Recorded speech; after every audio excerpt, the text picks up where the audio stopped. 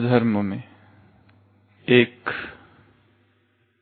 दूसरा संप्रदाय कहो, या दूसरी एक शाखा कहो। जैन है। और जैन एक क्रांतिकारी धर्म है। अब तक की जो रूढ़िवादिता है, बौद्ध धर्म में भी, उसका विरोध करने वाला, वो धर्म है, जैन। ऐसे जैन धर्म में एक महिला थी कभी, जिसका नाम था रेंगेटसु। ये जो रेंगेटसु थी, ये गाँव गाँव भटकती थी, एक जगह से दूसरी जगह जाती थी। एक बार सर्दी के दिन थे और वो किसी गाँव में पहुँची। शाम हो गई थी। ठंड बहुत थी। वो तो एक जैसे सन्यासिनी। रहने के लिए उसके पास कुछ नहीं। तो उसने अलग अलग घरों पर जाकर दस्तक दी कि एक रात के लिए मुझे रहने दो। परंतु उस समय के जितने वो लोग थे बौद्ध धर्म के, वो सभी जैन के विरुद्ध थे। इसके लिए किसी ने भी उसको रहने के लिए जगह नहीं दी। और रात हो गई थी। अब उसके लिए कुछ भी बचा नहीं था। तो वो रिंगिट्सो वहाँ से निकलकर गाँव के बाहर जो जंगल होता है, वहाँ चली जाती है। उस जंगल में एक चेरी का वृक्ष होता है।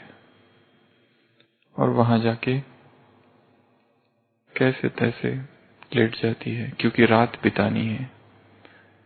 किसी ने उसको सहारा नहीं दिया, अकेली महिला। और वहाँ लेटे लेटे अचानक उसकी दृष्टि आकाश की ओर जाती है।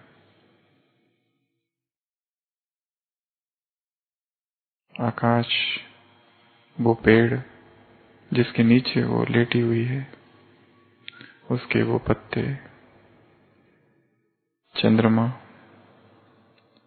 अंधियारी रात और वो मौन, वो निस्तब्ध शांतता और वो देखते देखते और उस खामोशी को सुनते सुनते अचानक उसके मन में कुछ हो जाता है। जैसे कि एक जागृति आ जाती है। जैसे कि चेतना जाग जाती है। और वो एकदम से अभी तक जो मन में थोड़ा सा दुख था, किसी ने रात में रुकने के लिए जगह नहीं दी, एकदम परिवर्तित हो जाता है। विचार बदल जाते हैं। और सोचने लगती है, कितना ये सौंदर्य है यहाँ पर, रात का, आसमान का, सितारों का, चंद्रमा का, इस वन का, इन वृक्षों का। यदि मैं किसी के घर में सोई होती, किसी ने मुझे पनाह दी होती तो ये जो सौंदर्य मुझे दिखाई दे रहा है, ये जो अचानक से अनुभव हो गया, देह से न्यारेपन का वो शायद नहीं हो पाता। और एकदम से उसका हृदय धन्यवाद से भर जाता है। तथा ता, ये शब्द है जैन धर्म में। जैसे कि यही तो वो पल था और यही तो वो क्षण था सचनेस। अंग्रेज़ी में जो सच शब्द है दजनेस और सचनेस एनलाइटनमेंट का। जिसमें एकदम से चेतना जाग गई। इस हादसे में, इस इंसिडेंट में ऐसा आध्यात्मिक कुछ भी नहीं है। सबने उसे जगह नहीं दी। वो जाकर जंगल में थी, सो रही थी और निसर्ग के उस सानिध्य में अचानक से ही कुछ हो गया। ना ही वो कोई भगवान का चिंतन वहाँ कुछ कर रही थी, ना कोई भक्ति कर रही थी, परंतु उस एकांत के पल में जागरण हो गया। और उसी समय आधी रात जैसे वो वहाँ से भागी और गाँव में एक एक को आकर धन्यवाद करने लगी उठा उठा कर। कि आपका बहुत धन्यवाद जो आपने मुझे अंदर रहने के लिए जगह नहीं दी। क्योंकि अभी अभी उस जंगल में मैंने ऐसा एक अद्वितीय आध्यात्मिक अनुभव कर लिया। इतने समय से किताबें पढ़कर जो नहीं हुआ, इतने समय से ध्यान की मुद्रा में बैठकर नहीं हुआ, इतने समय से प्रवचन सुनने से जो नहीं हुआ, इतने समय से साधना चालू है। इतने समय से तीर्थ यात्राएँ कर रही हूँ, वो फिर भी नहीं हुआ। और कहा हो गया वो? अचानक एक पल में। अज्ञात पल में चेतना जागृत हो गई। इसके लिए मन को सब तरफ़ से हटाकर किसी ऐसे स्थान में जगह में, जहाँ हल्कापन है, जहाँ सारी चिंता एक तरफ़ हो गई है सहज, बिना प्रयास किए, उस पल में जाके छोड़ दो। वहाँ अचानक कुछ होगा। कुछ नहीं चिंतन, केवल जैसे कि विचार सारे समाप्त हो गए। वो बैठी वहाँ पर और केवल और केवल देखने लगी आकाश को, प्रकृति को, जो शायद उसने इस तरह से कभी नहीं देखा था, और वहाँ पर जागरण हो गया। तो आज अंतर्राष्ट्रीय महिला दिवस इंटरनेशनल विमेन्स डे 8 मार्च। सारे विश्व भर में यह मनाया जाता है। इस समाज में स्त्रियों की जो भूमिका रही, उनका क्या महत्व रहा? इस समाज की संरचना में स्त्रियों का क्या योगदान रहा? उसको मानना और उसको मनाना, उनको सम्मानित करना, गौरवान्वित करना इसके लिए विशेष ये दिन मनाया जाता है। और इस वर्ष में, जैसे हर वर्ष में एक थीम होता है, इस वर्ष में भी एक थीम है। एक वृद्ध वाक्य या ऐसा एक वाक्य, ऐसा एक सार कि जिस पर सारे साल तक काम करना है सबको। विश्व भर में, केवल स्त्रियों को नहीं, पुरुषों को भी, स्त्रियों के लिए। और वो इस बार का वाक्य है, press for progress press for progress अर्थात जैसे कोई बटन दबाते हैं प्रेस किया बटन वैसे बटन दबाना किसके लिए? प्रोग्रेस के लिए.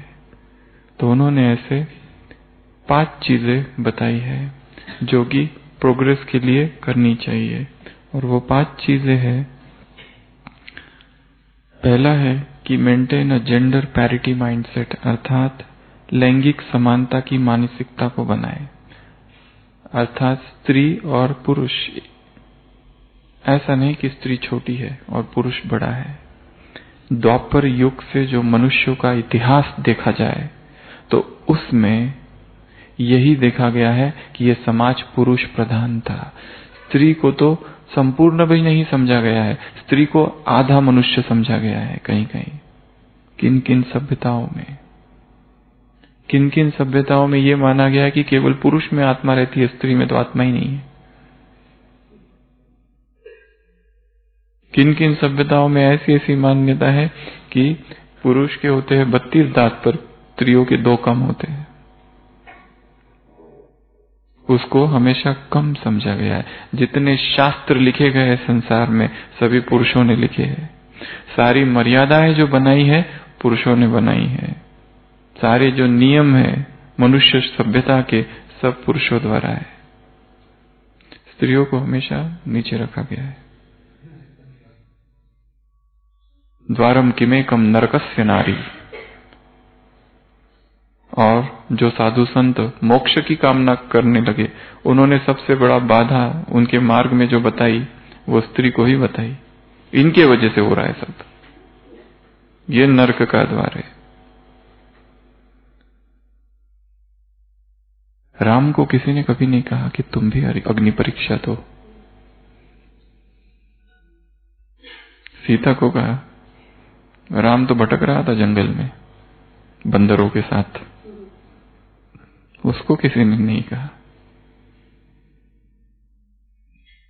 देनी तो दोनों को चाहिए थी। दूसरा है चैलेंज स्टेरियोटाइप्स एंड बायसेस अर्थात रूढ़िवादिता और पूर्वाग्रह को चुनौती देना। अब तक की जो सारी रूढ़िवादिता है, उन सबको चुनौती देना। स्त्री को हमेशा दास या दासी बनाकर रखा गया है। स्त्री पत्र भी लिखती है तो क्या लिखती है? मेरे प्राण परमेश्वर। और नीचे लिखती है आपके चरणों की दासी द्वापर से अब तक का इतिहास। आएँगे उसमें भी। तो नीचे रखा गया। प्रधान पुरुष, प्रधान समाज रहा। और वर्तमान समय में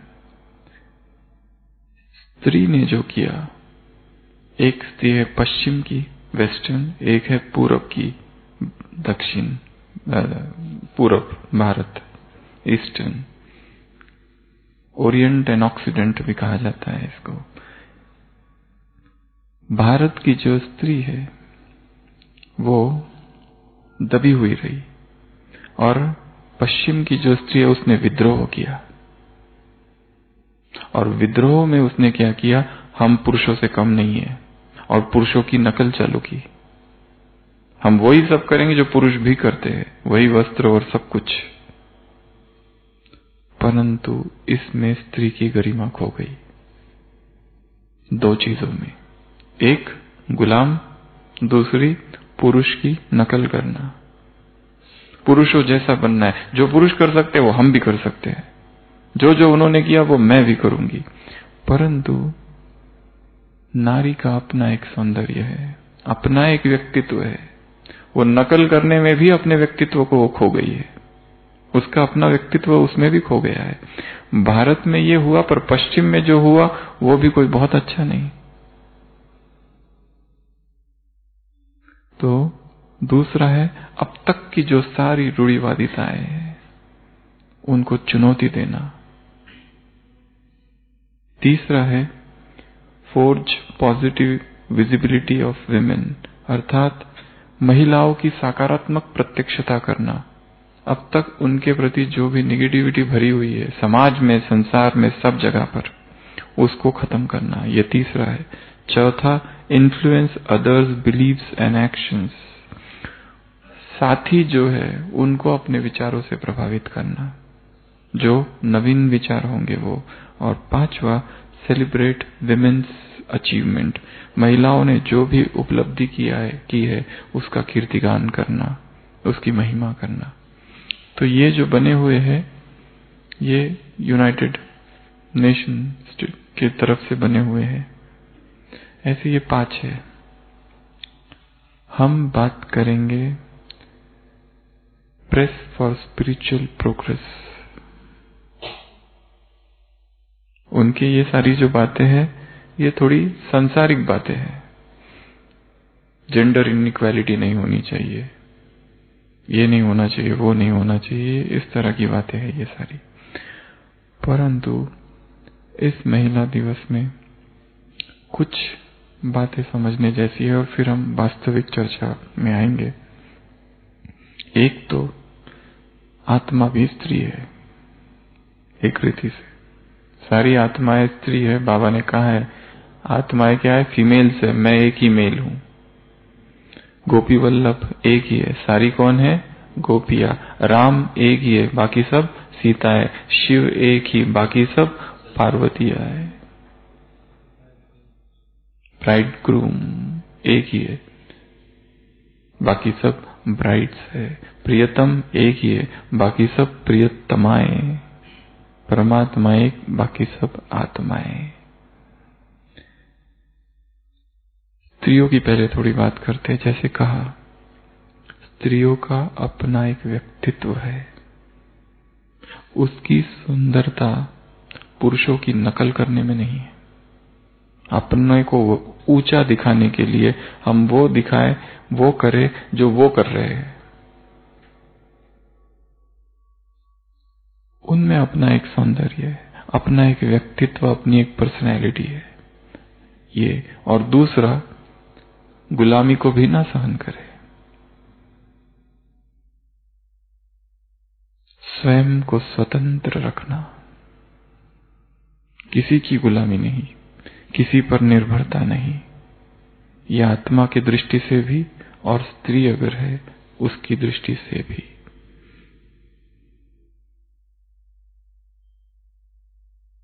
संपूर्ण फ्रीडम संपूर्ण मालकियत के संस्कार.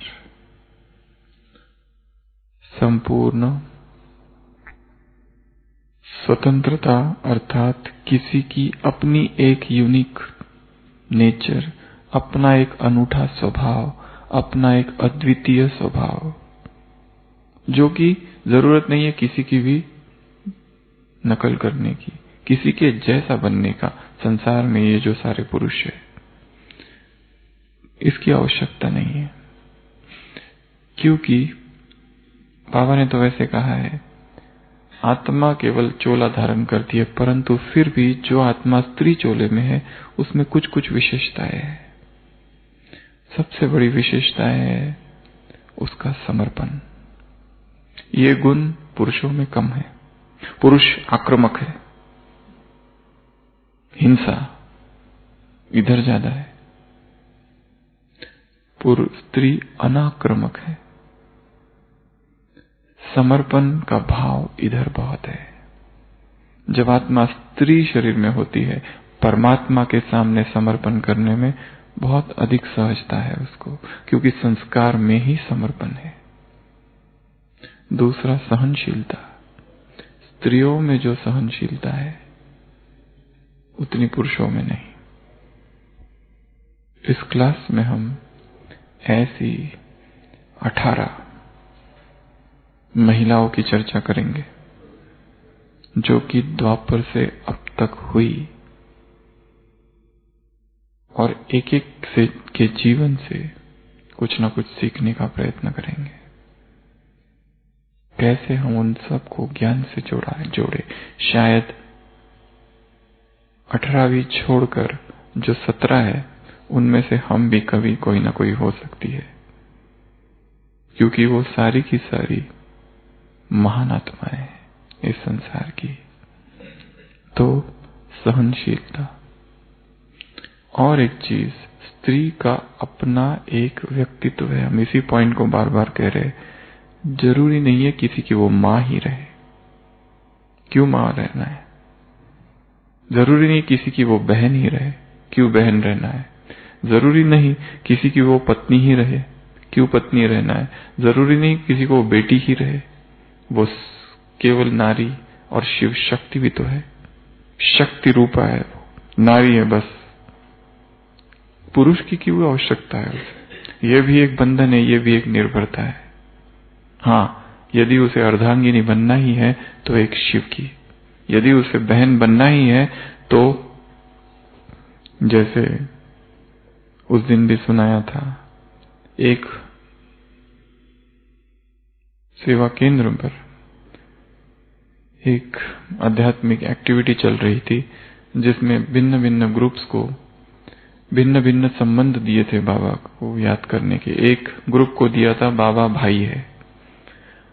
तो उस ग्रुप में एक माता ने आकर सामने बताया कि बाबा को भाई तो मैं हमेशा से ही मानती आई हूँ। उसने कारण बताया कि जब ज्ञान में आई थी तो पति बहुत तंग करता था। और मैं बाबा से कह, कहती थी भैया मेरे राखी के बंधन को निभाना।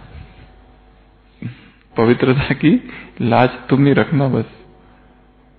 तो वह एक भाई है वह एक पति है वही बेटा है।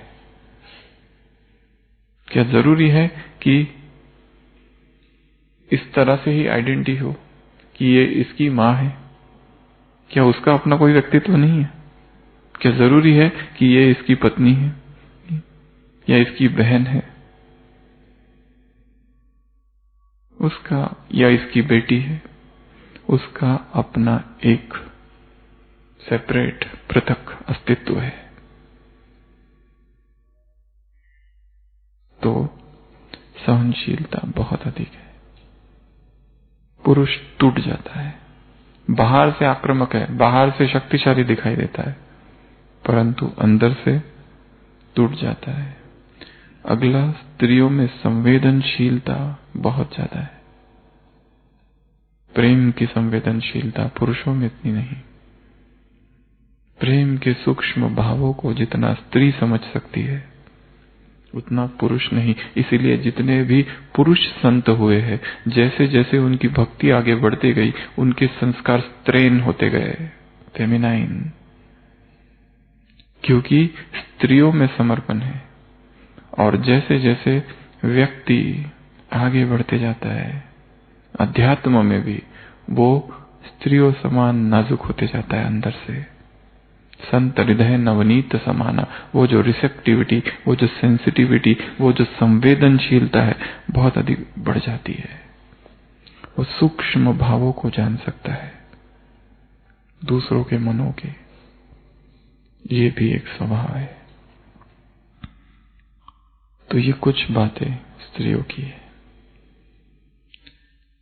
बाबा ने कहा है, पाँच विकार पुरुषों में, पाँच विकार स्त्रियों में भी है।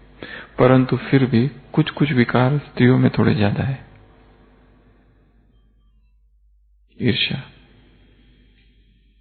पुरुषों में क्रोध। एक कहानी है जिसमें एक स्त्री है जो बाहर जाती है तो उसको एक गरीब लड़की दिखती है, बेचारी जवान है अठारह बीस साल की। तो उसके पास कोई भी नहीं है। वो कुछ सामान खरीद रही है, बाहर देखती है बारिश आ रही है और वो भीग रही है। तो इस श्रीमंत महिला को उस पर दया आ जाती है, उस स्त्री पर, और उसको, उससे बात करती है। उसको लगता है, वो कहती है, मेरा कोई भी नहीं, पिता थे वो भी चला गया, ये भी चले गए, बाढ़ आ गई, गाँव में मैं, शहर में आई, मेरा कोई नहीं। तो उसको बड़ी दया आती है और वो उसको लेके आती है अपने घर में। और उसको सब सामान वगैरह देती साड़ी वगैरह देती है, घर पे रखती है। फिर उधर से पति आता है, वो कहता है, ये कौन है? वो कहती है कि, ये मुझे ऐसे ऐसे हुई, ये मिली मुझे, अब ये हमारे साथ ही रहेगी। तो पति एकदम ऑब्जेक्शन लेता है। ये किसी को भी तुम लेके आती हो भिखारिन को और अब कहती होगी, ये घर पे ही रहेगी। वो कहती है हाँ मैंने ठान लिया है बस, अब मुझे इसकी मदद करनी है, ये हमारे साथ ही रहेगी। तो पति तो पहले विरोध करता है, फिर दिखाया, थोड़ा वो नहाने चले जाता है। और आता है वापस। और फिर कहता है, चलो, हमको पार्टी में जाना है। हम कहती है, वो पत्नी कहती है, चलो। वो कहती है, उसको नहीं लेके जाओगी? वो पति पूछता है। वो वो क्यों आएगी? तो वो पति उसकी तारीफ़ करने लगता है, जानबूझकर अब। वो तो कितनी अच्छी है, कितनी सुंदर है, वो तो चलनी ही चाहिए। जब से मैंने देखा है, पता नहीं कुछ अच्छा ही नहीं लग रहा है, बस उसको देखने की इच्छा होती। अब पत्नी को कुछ हो रहा है। तो वो थोड़ा और बाहर जाता है, तब तक पत्नी कुछ पैसे लेके नौकर के हाथ में उस लड़की के पास भिजवा देती है और कहती है कि अब तुम जा सकती हो। ये नाटक हमने बचपन में देखा था। पति की भूमिका सुरेश ओबेरॉय जी ने की थी उसमें। ईर्ष्या उत्पन्न हो गई। पति ने अगर डायरेक्ट कहा होता कि उसको निकाल दो तो वो कभी नहीं मानती। उसने थोड़ा मार्ग बदल दिया। और उसने खुद ही उसको भगा दिया। एक सूक्ष्म भाव इस पर काम करना होगा, सबको विशेष। एक, जैसे पुरुषों में क्रोध है, अहंकार है। वैसे तो दोनों में दोनों है, पर कुछ कुछ प्रधानता इधर है। पॉजिटिवनेस, ये मेरा है। ये भाव।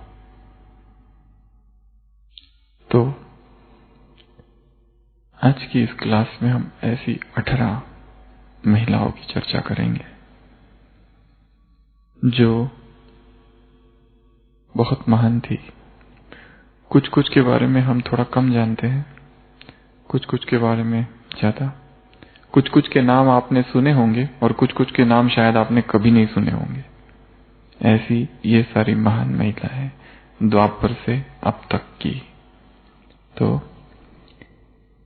कुछ कुछ बातें हमें उनसे भी सीखनी है। और ये सारे बातें वो होगी जो इस ब्राह्मण जीवन में, इस पुरुषार्थी जीवन में हमें उन्नति की ओर ले जाए, जो हम अपने पुरुषार्थ में उनका प्रयोग कर सके। ये सारी वही बातें होगी। तो शुरुआत करते हैं। सबसे पहले जो महिला है, उसका नाम है लल्लेश्वरी। कश्मीर से कौन है? ललदेड़ उसको कहा जाता है। ललदेड़ नाम से ही वो बहुत प्रसिद्ध है।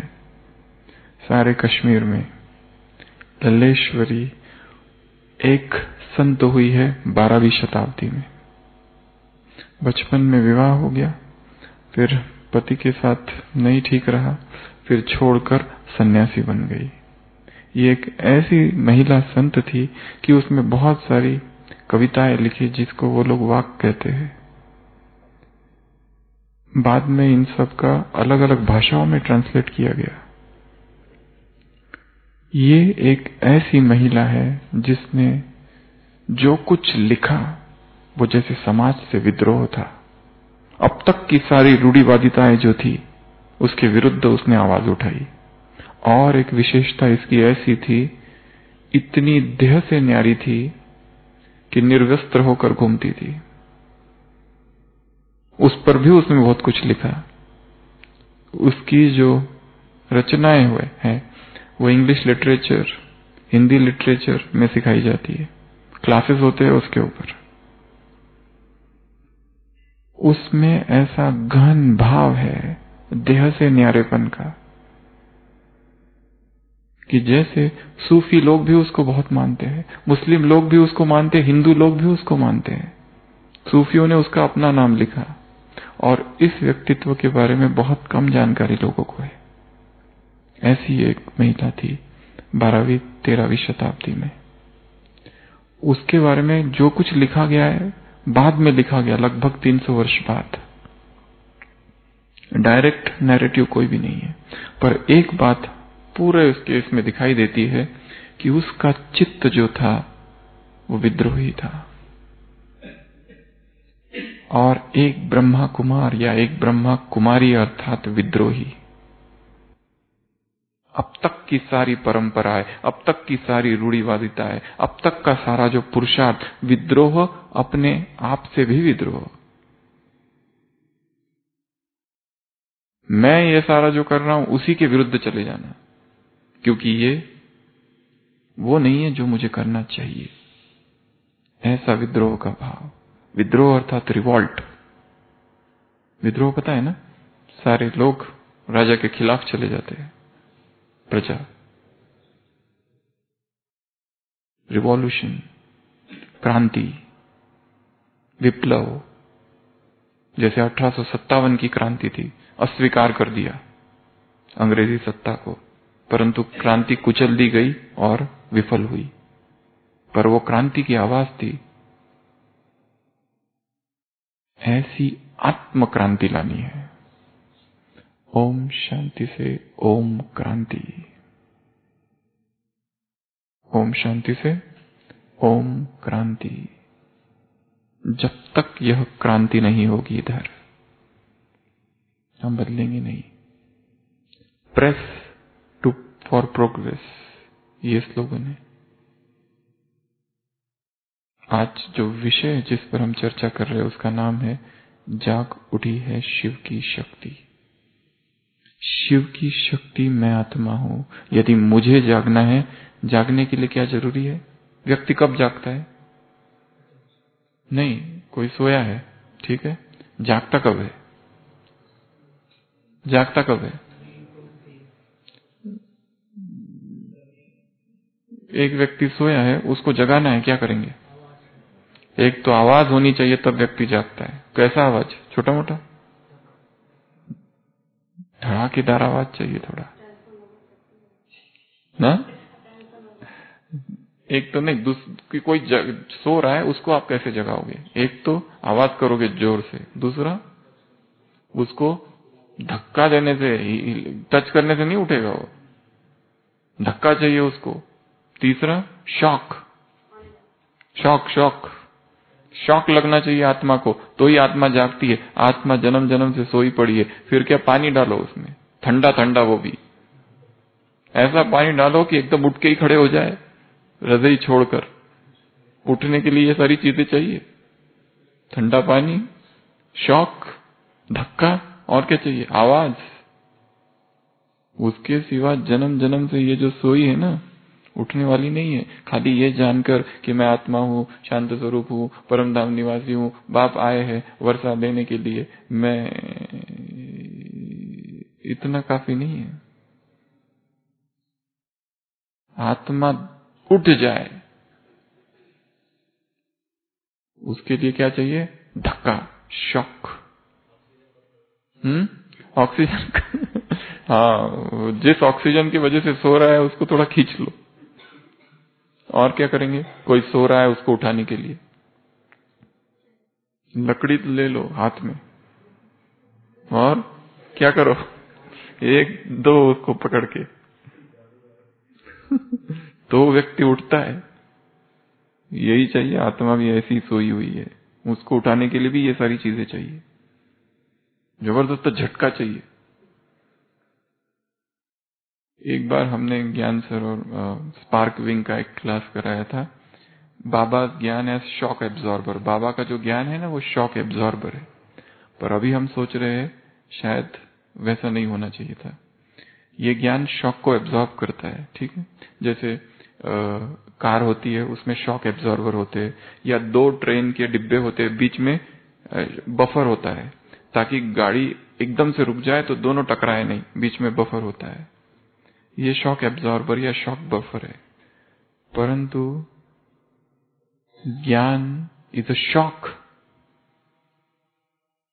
ज्ञान मतलब शॉक लगना चाहिए या करंट झकझोर देने वाला चाहिए। कि आत्मा उठ जाए उसमें से और विद्रोह करे। ये क्या मैं कर रहा हूँ? स्वयं स्वयं के विरुद्ध विद्रोह। अपने ही दिनचर्या का, के विरुद्ध विद्रोह। कि ये दिनचर्या अभी और नहीं चलेगी। हड़ताल आत्म हड़ताल आत्म क्रांति तो ये जो महिला थी, लल्लेश्वरी, विस्तार आप पढ़ सकते हैं, या जो लोग कश्मीर में रहते हैं, पूरे कश्मीर में इसके ही वाक सुनाए जाते हैं। कई अलग अलग नाम है इस एक ही महिला के। वो कितनी पहले हो चुकी है, पर अब तक भी उसका सारा किसी ने इंग्लिश में ट्रांसलेट किया। और उसके एक एक एक चीज़ जो उसने लिखा है I come from nothing I go to nothing मैं शून्य से आई हूँ, शून्य की ओर जा रही हूँ। ऐसी एक अनपढ़ महिला। पर बातें जो उसने लिखी है, गजब की लिखी है। कि विद्वानों को भी सोचना पड़ता है उसने वो जो लिखा है उसके ऊपर। तो प्रतीक क्या है? क्रांति, विप्लव, रिवॉल्ट, बगावत, बागी बनना है आध्यात्मिक बागी स्पिरिचुअल रिवॉल्यूशनरी तो ही परिवर्तन होगा। संसार भर में जितने महान देश है, हर जगह पर क्रांति हुई, उसके बाद ही परिवर्तन हुआ। फ्रांस की क्रांति, रूस की क्रांति, भारत की क्रांति, अफ्रीका की क्रांति, अमेरिका की क्रांति, सब देशों में क्रांति हुई। गुलामी से छूटे। वैसे आत्मा भी गुलाम है, बंधन में है। क्रांति चाहिए, उसके बाद ही छूटेगी। तो पहली महिला, लल्लेश्वरी। दूसरी, मीरा। मीरा। मीरा ने भी ऐसी ही क्रांति की। लल्लेश्वरी का जो परमात्मा था, वो निर्गुण कोई था। उसने किसी एक व्यक्ति का नाम नहीं लिया कहीं पर। उसने निर्गुण, निराकार की उपासना की। वो कौन है? वो उसे कोई पता। मीरा का भगवान कोई एक साकारी था, सगुन था कोई। उसको उसने अपना सर्वस्व मान लिया। और उसकी अवस्था को शायद कोई समझ नहीं पाया। उसमें जो वैराग, वो आत्मा को जन्म जन्म की साधना के बाद ही प्राप्त होता है। किसी आत्मा को सहज वैराग नहीं होता है संसार से। चिपके रहते हैं संसार से लोग। किसमें जन्म से ही वैराग होता है। जन्म से ही। जन्म से ही संसार की आसक्ति नहीं। कोई कोई जीवन में धक्के खाते हैं। किसी पत्नी में बहुत प्यार है, पत्नी मर गई, फिर उसके बाद में वैराग। किसी ने प्यार है, उसने धोखा दे दिया, फिर वैराग, भरतरी जैसे। धोखा मिला, वैराग आ गया। हर एक की वैराग की गाथा अपनी अपनी है, परंतु कुछ कुछ आत्माएँ संसार में ऐसी होती है, वैराग के साथ ही जन्म लेती है। बचपन से ही जैसे इस संसार मिथ्या है। किसी से कोई लेना देना नहीं है। बचपन से ही लक्ष्य इतना, पहले से ही फिक्स है कि ये है गंतव्य। वो उन गलियों में घुसते ही नहीं संसार की। पहले घुसो, फिर धक्के खाओ और फिर निकल के बाहर आओ। ये सब करना ही नहीं है। ऐसी कुछ कुछ आत्माएँ भी संसार में है। विवेकानंद के जीवन में एक प्रसंग है जब कोई उनसे एक बार कहता है, क्या तुम में जलसी उत्पन्न हुई है? उन्होंने लिखा I am born without jealousy in my heart jealousy और अपवित्रता और काम, मैं इनके बिना ही जन्म लिया हूँ। ये क्या है मुझे पता ही नहीं है, अविद्या है इनकी। I am born without jealousy in my heart ऐसा वैराग, मीरा का वैराग परम वैराग है। मीरा का परमात्मा प्रेम परम परमात्मा प्रेम है। उसे किसी की परवाह नहीं लोक लाज की परवाह नहीं। वह राजस्थान जहाँ घूंघट नहीं उठा कभी, स्त्रियों ने खोला नहीं, सड़कों पे नाच रही है।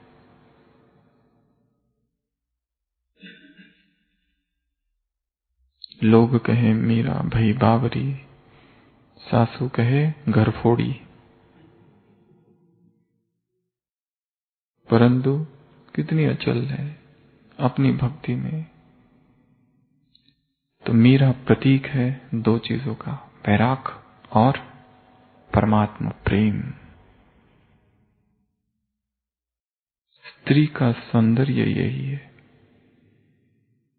देहधारी से प्रेम करना नहीं, उससे प्रेम करना जो परम सुंदर है। उससे प्रेम करना जिसके परे इस संसार में और कुछ भी नहीं। और आत्मा यदि स्त्री है और परमात्मा एक ही उसका पति है तो उसकी बुद्धि देहधारी में कभी नहीं जा सकती। तो दूसरी महिला है मीरा। ऐसे तीन व्यक्तित्व संसार में कहे गए हैं जो सदैव देह सहित विलीन हो गए। ऐसा ज्ञान के हिसाब से नहीं हो सकता, परंतु माना जाता है। ऐसे तीन लोग हैं भक्ति मार्ग के, जिनके लिए ऐसी मान्यता है कि शरीर सहित समा गए परमात्मा में। ज्ञान तो ऐसा नहीं कहता। ये शायद बाद में भक्तों ने बातें बताई होगी। एक मीरा है, जो सदेह सदेह, देह सहित कृष्ण की मूर्ति में समा गई।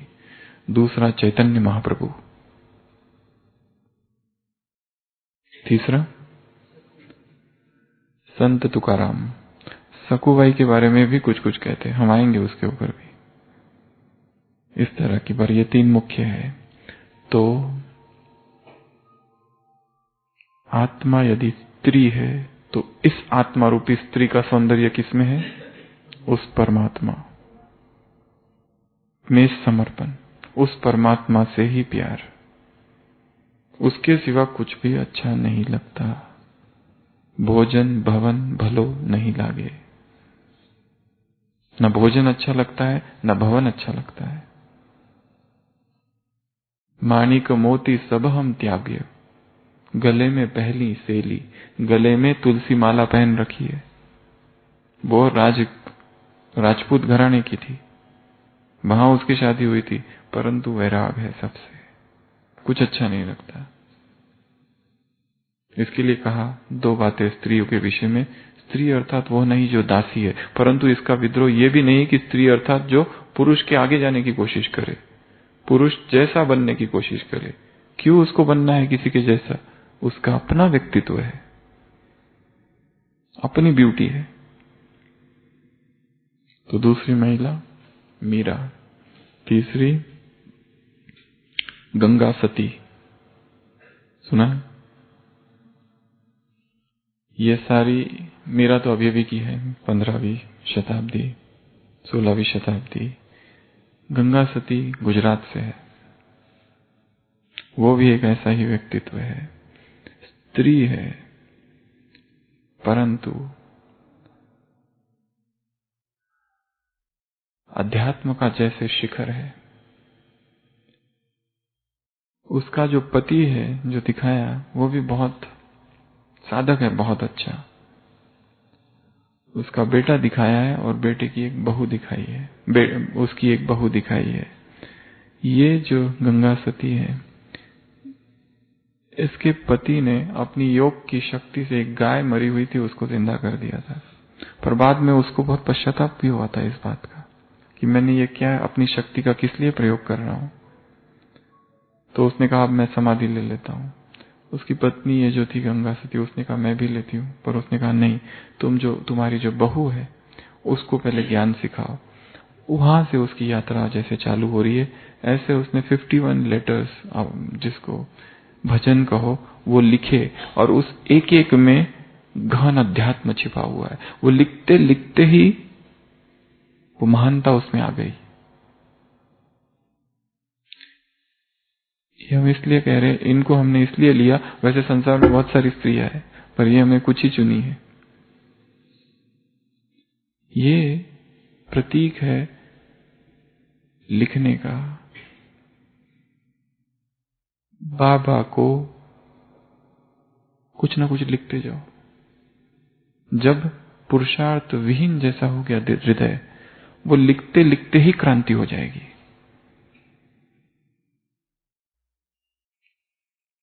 जैसे एक कविता लिखने गए।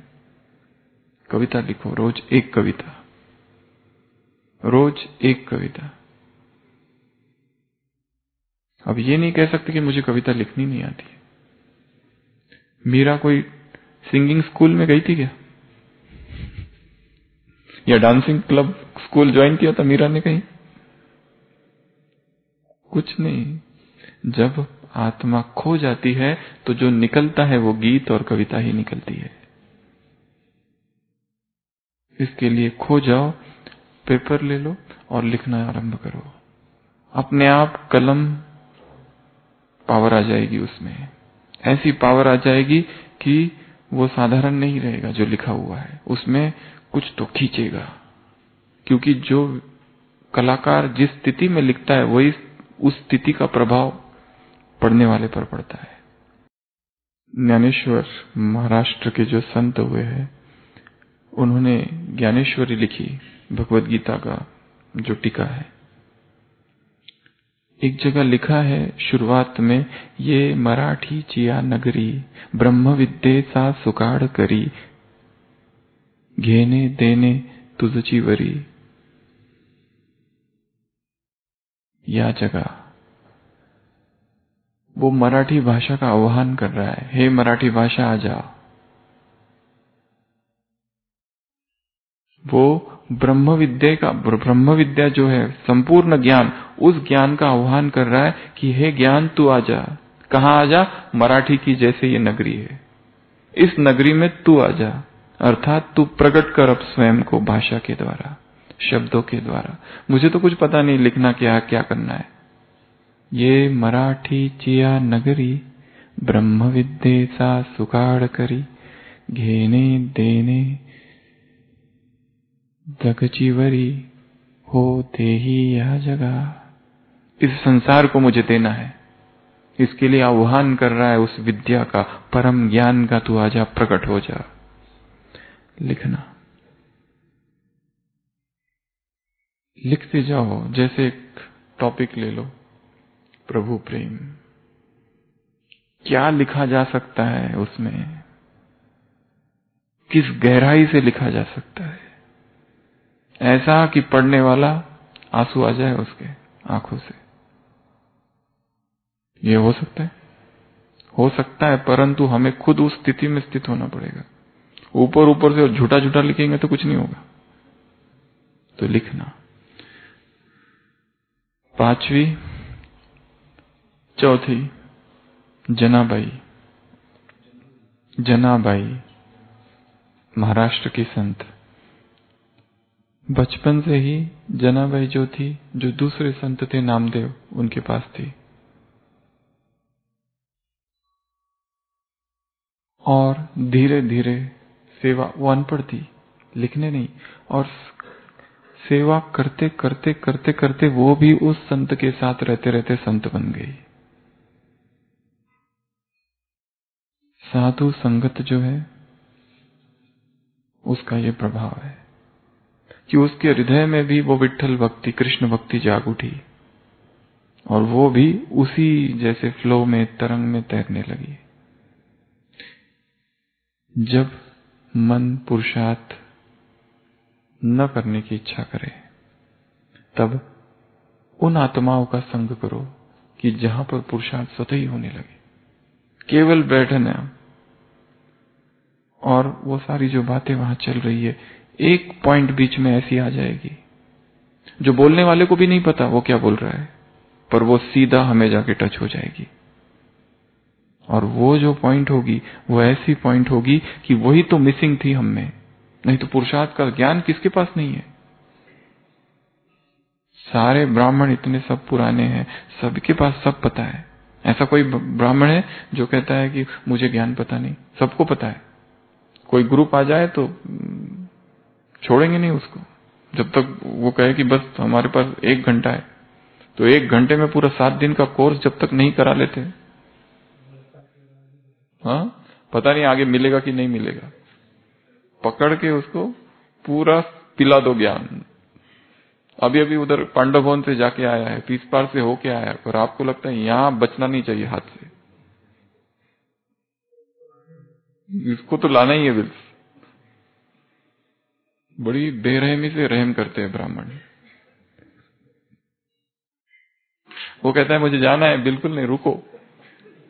एक ही डोज में आत्मा, परमात्मा, तीन लोग सृष्टि, चक्र, सीढ़ी, धारणाएँ, ब्रह्मचर्य, मुरली और सेंटर का एड्रेस, ज़रूर जाना है यहाँ पर।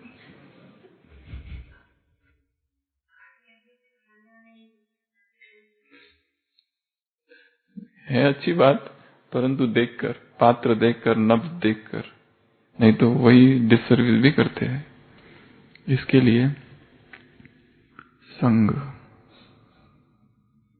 जब कुछ भी नहीं समझ में आ रहा है, कोई पुरानी, कोई दादियों की क्लास है, सुन लो, वो आधे घंटे में एक पॉइंट ऐसा आ जाएगा, जो हमारे प्रश्न का उत्तर होगा। साधु संगत। अगली है मुक्ताबाई, महाराष्ट्र की संत, जो चार ज्ञानेश्वर, निवृत्तिनाथ, सोपान और मुक्ताबाई। चार अनाथ हो गए। उनके माँ बाप आत्महत्या कर लेते हैं। क्यों? समाज स्वीकार नहीं करता, क्योंकि पिता जो थे विठल पंत, वो गृहस्थी थे। परंतु वैराग इतना ज़्यादा आ गया, सन्यास ले लिया, चले गए छोड़कर रामानंद के पास। और वहाँ पर जब गुरु उनके मिले, उनके गुरु को उनकी पत्नी मिलती है। वो पत्नी कहती है कि मेरा पति वापस चाहिए तो वो आशीर्वाद दे देते हैं उसको, सौभाग्यवती। और फिर बाद गुरु को पता चलता है, ये जो हमारा, मेरा जो शिष्य है, ये तो उसका ही पति है। और उसको कहते, वापस जाओ गृहस्थ में। वो वापस गृहस्थ में जाता है और फिर सारा समाज उनका विरोध करता है और उनको प्रायश्चित करने को कहता है। और प्रायश्चित है, देहांत प्रायश्चित। वो रातों रात माँ बाप चले जाते हैं, बस ये चार भाई बहने रह जाते हैं। और उनका इतना अपमान इतना अपमान इतना अपमान। कदम कदम पर अपमान, कदम कदम पर लोग उनको सताते हैं। उसमें से ज्ञानेश्वर दो नंबर पर और जो छोटी बहन है, छोटी सी जिसका नाम है मुक्ता, वो भी उतनी ही श्रेष्ठ है। एक प्रसंग है जिसमें ज्ञानेश्वर दुखी हो जाता है। ये सारा समाज कब तक सहन करेंगे? जहाँ जाता है, भीख मांगने दरवाजे, वो भिक्षा मांगने दरवाजे बंद हो जाते हैं। वो एक बार रूट जाता है उसको ये छोटी सी लड़की मनाती है। और वो जो उसको मनाती है, वो जो अभंग है उसका, वो जो भजन, उसमें भी गहरा आत्म, अध्यात्म छिपा हुआ है। एक एक वाक्य उसका जो है लिखा हुआ, बहुत गहरा अध्यात्म है। तो मुक्ता अर्थात वो प्रतीक है मुक्ति का। मुक्ताबाई अर्थात वो प्रतीक है छोटी आयु में, परंतु समझ बहुत है उसकी। उसमें एक और दिखाया है चांगदेव करके, एक दूसरा एक योगी होता है अहंकारी, उसको भी वो पत्र का उत्तर लिखती है। तो मुक्ता, भाई, अगला है कान्हो पात्रा ये भी महाराष्ट्र की एक संत है। ये जो संत थी, एक वेश्या की पुत्री थी, और ये खुद भी फिर उसी घर में रहने की वजह से उसकी माँ जो प्रोस्टिट्यूट थी। परंतु इसके हृदय में परमात्मा भक्ति की जागृत हुई। सारी परिस्थितियाँ अनुकूल और प्रतिकूल थी, विरोध में थी, पर उस अवस्था में वो, उस परमात्मा को उसने अपना पति समझ लिया। बहुत सारा उसका उसके साथ बातें हुई। पर इतने विरोध में भी अचल खड़ी रही।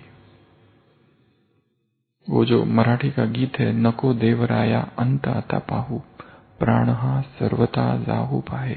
हे परमात्मा, अभी मेरा अंत ना देख। अब अगर तू अब नहीं आए तो मैं शरीर छोड़ दूँगी। ये अवस्था उसकी। हरि नीचे पाड़स व्याग्रे धरी ने ले। तस मजला ही जाहले ऐसे देवा। जैसे कोई हिरन है और उसका बच्चा कोई एक शेर पकड़ के ले जाए तो उस माँ को कैसे होता है? कैसी तड़पती है? हे प्रभु, मैं तेरे लिए ऐसी तड़प रही हूँ। देखो, ये सारे वो भक्त है जो सब द्वापर में हुए और इनको परमात्मा का पूरा परिचय नहीं था, परंतु प्यार कितना था। इसके लिए ये जितनी आत्माओं का नाम हम गिना रहे ये सबके सब आत्मा इस समय कहाँ है? इसी परिवार में है। मीरा है कि नहीं है? मीरा तो बाबा मुरलियों में कहते उसको वैकुंठ का दर्शन हुआ, इसका मतलब थोड़ी ना है वो वैकुंठ में आएगी। अब बोलो। पर बाबा की, मीरा के लिए तो ऐसा कहते साक्षात्कार से कुछ नहीं होगा। बाबा जो बातें मीरा के लिए कहते वो एक्चुअली साक्षात्कार के लिए कह रहे हैं, परंतु मीरा तो इधर ही है। जिस मीरा ने कृष्ण से इतना प्यार किया, वो यही कोई ना कोई तो दादी होगी ना। ब्रह्मा से दूर रह सकती है वो? यही होना चाहिए उसको। ये सारे भगत जो इतने हुए हैं, किसी ना किसी जन्म में हम ही थे, और हमने ही भगवान से इतना प्यार क्यों किया? क्योंकि इस समय हमने उससे इतना प्यार किया। उसकी ही वो स्मृतियाँ थोड़ी थोड़ी थोड़ी थोड़ी द्वापर से जन्मों में जागृत होती रही। इसके लिए नहीं तो कौन क्यों करेगा परमात्मा से प्यार? कहाँ से वो संस्कार आ गए ईश्वर से प्रेम करने के? तो परमात्मा प्रेम का ये प्रतीक है। अगली संत है अक्का महादेवी, कर्नाटक। कोई है कर्नाटक से? हाँ। शिव को ही अपना पति मान लिया। शिव को ही। इनके लिए भी कहते हैं कि ये भी निर्वस्त्र। देहभान से परे। किसी राजा उसको पाना चाहता था। परंतु उसको स्वीकार नहीं था वो। एक शिव को ही सर्वस्व मान लेना। कहानी बहुत बड़ी है, समय हमारे पास कम है, परंतु बहुत सारी बातें हैं इनके जीवन में भी। कैसे उस महानता तक ये आत्मा पहुँची? ये सभी आत्माएँ इन सभी को संसार के पुरुष स्वीकार नहीं थे। किसी को भी संसार का पुरुष नहीं चाहिए था। देहधारी से उनको कोई लेना देना ही नहीं था। इन्होंने उसको ही अपना सब कुछ मान रखा था। उस अवस्था में। और इन सब का जन्म अगर देखो तो प्रतिकूल परिस्थितियों में है। कुछ, किसी का भी जन्म अनुकूल परिस्थितियों में नहीं है। सब कुछ अच्छा है, ऐसा कहीं पर भी नहीं है। सब जगह विरोध है, घर में विरोध, समाज से विरोध, या राज्य से विरोध, या राजा से विरोध। सब जगह। प्रलोभन है सब जगह से। परंतु कोई भी प्रलोभन स्वीकार नहीं किया। ऐसी ये आत्मा। अगली एक दूसरी आत्मा है, तमिलनाडु की। तमिलनाडु से कोई है? कोई नहीं? अंडाल। हम्म अंडाल।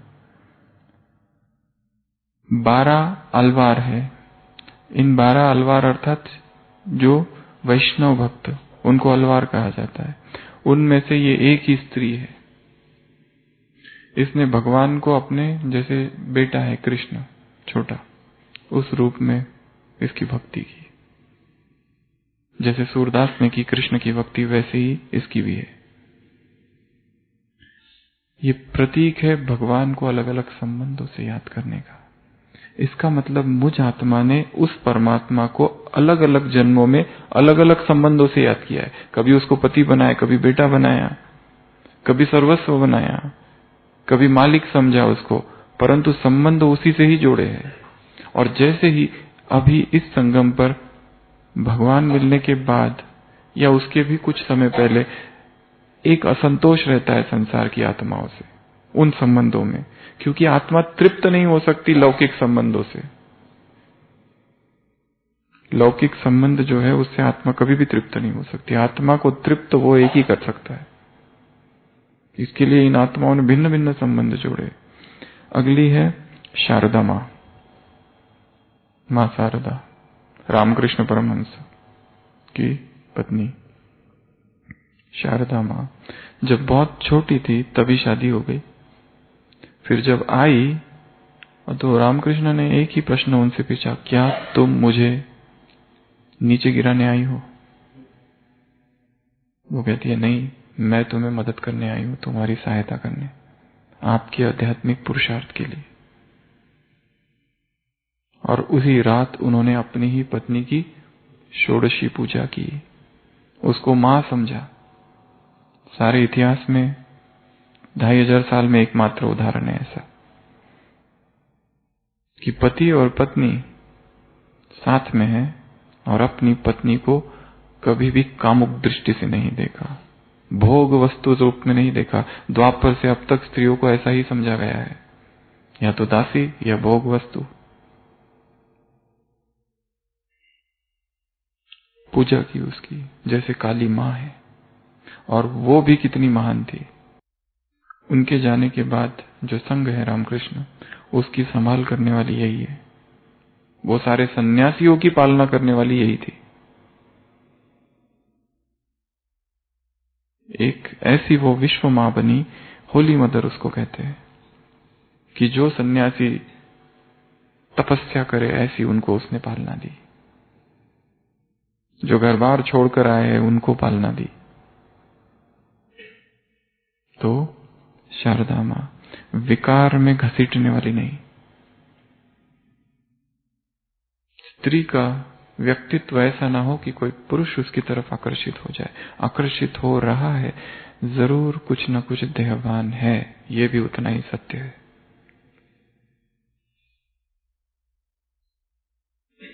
विनोबा भावे ने एक जगह लिखा है कि एक ट्रेन से वो सफ़र कर रहे थे। एक महिला थी जो कि गजरा पहने हुई थी। गजरा पता है ना? गजरा। वो स्त्री से पूछती है, पूछते हैं, क्या ये गजरा तुमको दिखाई दे रहा है? गजरा पीछे पहनते हैं ना? ये क्या तुमको दिखाई दे रहा है? वो कहती नहीं तो क्यों पहना है? दिखाने के लिए, आकर्षित करने के लिए। एक साकार मुरली है, शायद आपने सुनी होगी। पारसी स्त्रियों के लिए बाबा ने कहा है। किसी को याद है? कोई पुरुष लट्टू ना हो जाए, इसके लिए काली जाली पहन के घूमती है। कोई आकर्षित ना हो हमारी तरफ़। साकार मुरली के महावाक्य बाबा के। ऐसा हमारा रूप, रंग, अपने वस्त्र चाल ढाल, ऐसी ना हो कि आकर्षण हो जाए। ये भी बोझ है, यदि वो ब्रह्मा कुमार है। और उसको आकर्षण हो रहा है, और हम उसका आकर्षण बढ़ा रहे हैं। हम पर भी बोझ है, सूक्ष्म बोझ। हमारी जो ब्यूटी है वो सिंप्लिसिटी है। जितना सरल, जितना सब कुछ, वही हमारा ब्यूटी है, साधारणता। में ही महानता है हमारी। रंग, ढंग, रूप, ये सब जो चीज़ें है संसार की, ये सब हमें नहीं करना है। कभी कभी हम सुबह सुबह अमृत वेला कुटिया में बैठते हैं और कोई बहन आके बैठती है, इतना सेंट और इतना परफ्यूम पूरा बाबा की कुटिया भर जाती है उस परफ्यूम से। कोई कोई तो सूक्ष्म वतन परम धाम से धड़ाम से नीचे गिर जाते होंगे। इतनी तेज क्या लगा के आते हैं पता नहीं चलता है। हाँ? सर दर्द भी होता है कई कई किसी किसी को खाती एक भाई तो एक बहन पीछे आके बैठी, आराम से योग में था और एकदम खांसी चालू, छींके चालू हो गई उसकी। पाउडर, क्रीम, तेल वो भी कौन सा तेल लगाते पता नहीं चलता है। उसमें ऐसी सुगंध होती है कि पूरे बाबा के कमरे में फैल जाती आती डिओड्रेंट कुछ कुछ कुछ कुछ क्या क्या है। संसार में बहुत सारी चीज़ें ऐसी। जो है वो ठीक है। ये ठीक है, जो है, उसको, साबुन से रगड़ रगड़ के क्या बनाना है, क्या क्या करना है?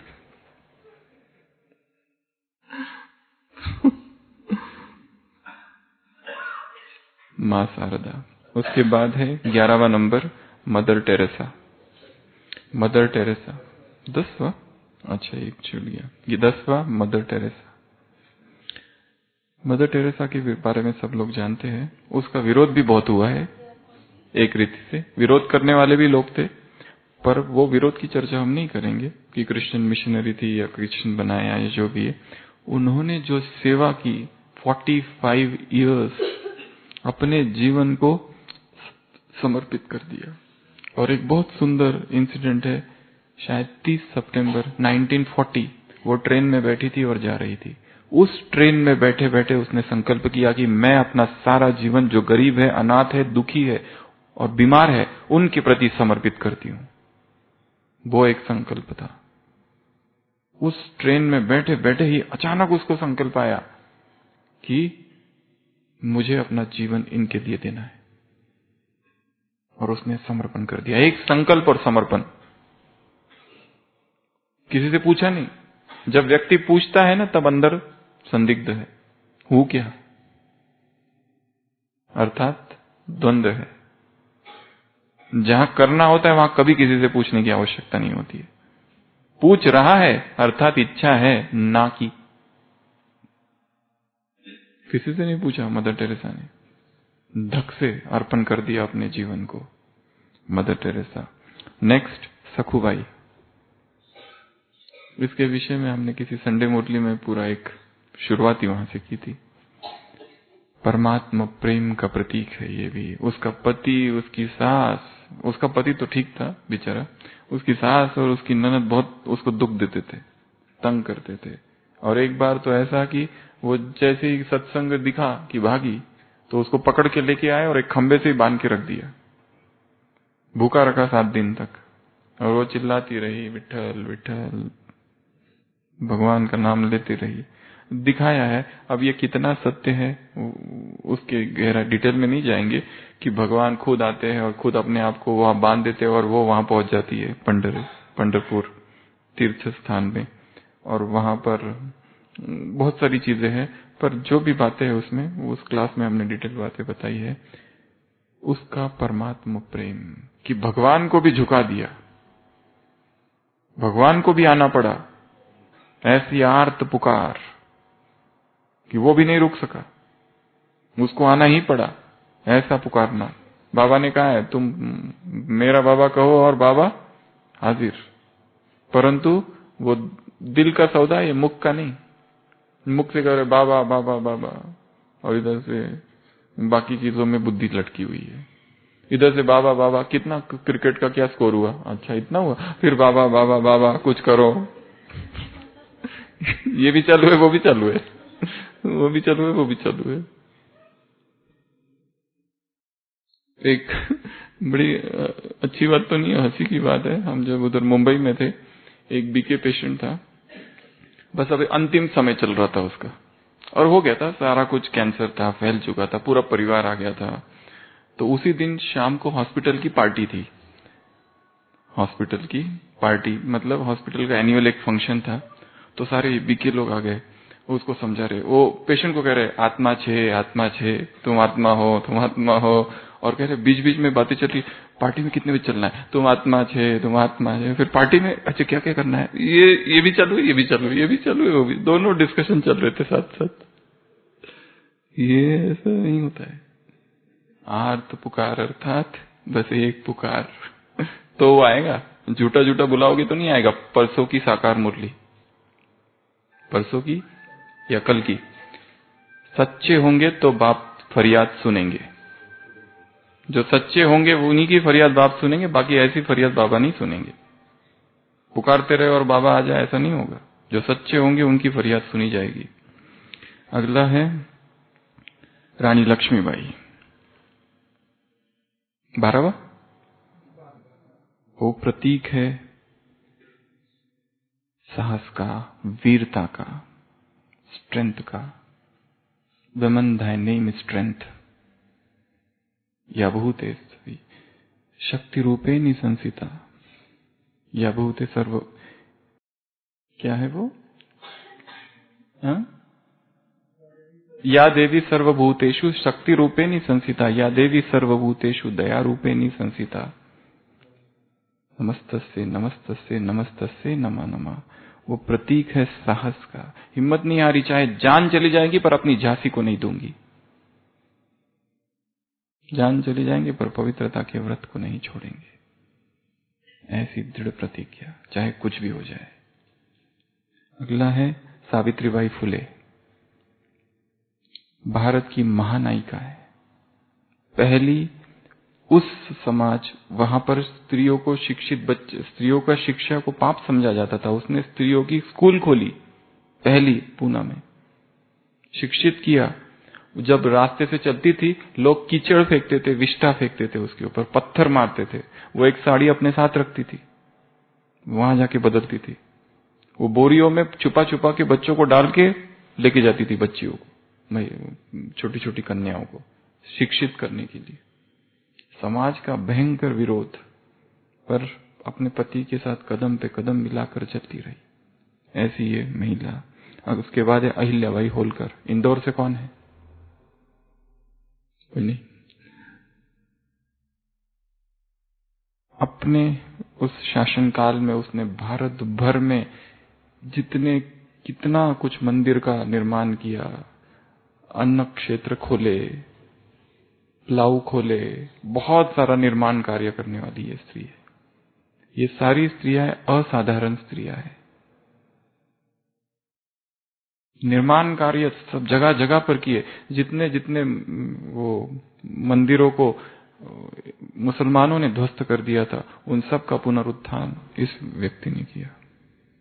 अहिल्याबाई होलकर। अगला है, आनंदमयी माँ। सुना है इसके बारे में? कोलकाता। अपनी अवस्था, अपनी मगन अवस्था में रहने वाली।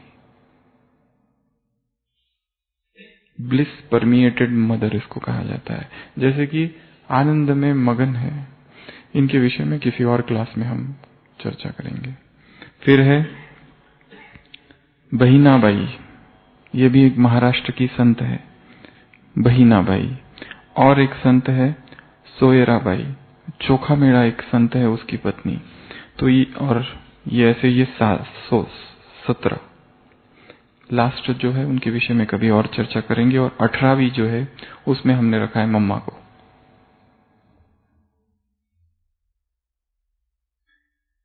मम्मा एक जागृत चेतना थी। उस अवस्था में निरंतर रहना बहुत बड़ी बात है। व्यक्ति सो जाता है। ज्ञान, योग, धारणा, सेवा विस्मृत हो जाता है। मम्मा प्रतीक है निरंतर स्मृति का। स्त्री सशक्तिकरण का। मम्मा प्रतीक है जगत माता का। स्त्री को किसी पुरुष की माँ बनने की आवश्यकता नहीं है। अगर उसे माँ ही बनना है तो जगत माता बने। किसी व्यक्ति की माँ बनेगी तो उसमें फंसेगी। किसी को अपना बेटा ही बना दिया तो उसमें अपेक्षाएँ आ जाती है कि ये मेरे बुढ़ापे का सहारा बनेगा। किसी को भाई बना दिया तो फिर उसके याद आती है कि राखी है, कहाँ है? और राखी बांधने के बाद कुछ दे। अपेक्षाएँ आ जाती है। मम्मा प्रतीक है सर्व संबंध जो सांसारिक है, उनसे परे है वो। किसी से कोई लेना देना नहीं है। किसी देहधारी से कोई लेना देना नहीं है। संपूर्ण नष्टो महास्थिति का प्रतीक है मम्मा। तो आज अंतर्राष्ट्रीय महिला दिवस, प्रेस फॉर प्रोग्रेस संसार की ये महिलाएँ है। वर्तमान समय भारत में बहुत सी ऐसी महान महिला है जो आध्यात्मिक नहीं है, परंतु महानता उनके जीवन में है। मॉडर्न, उनको तो हमने छोड़ ही दिया, ये केवल भक्ति की कुछ लिए। भारत के लिए, इसके अलावा बाहर के देशों में जाओ, राबिया, महान ते महान संत है। क्रिश्चियनिटी में जाओ, एल्फेंजा, एविला, थेकला एक एक का जीवन यदि हम देखें तो उसमें त्याग और तपस्या कुछ नहीं है उसके अतिरिक्त। To slay each passion each day एक एक दिन, एक एक वासना को इन्होंने खत्म किया और स्वयं को निर्वासना और एक परमात्मा को प्रेमी माना बस। एक वो क्राइस्ट और कुछ भी नहीं। ऐसी बहुत सारी महान आत्माएँ। और हो सकता है किसी जन्म में हम ही ये सब रहे और हमने भी भगवान से ऐसा ही प्यार किया था। तो प्रेस फॉर प्रोग्रेस अर्थात अपने जीवन में वही त्याग, वही तपस्या लानी है। सशक्तिकरण करना है आत्मा को। यही लक्ष्य है ओम शांति।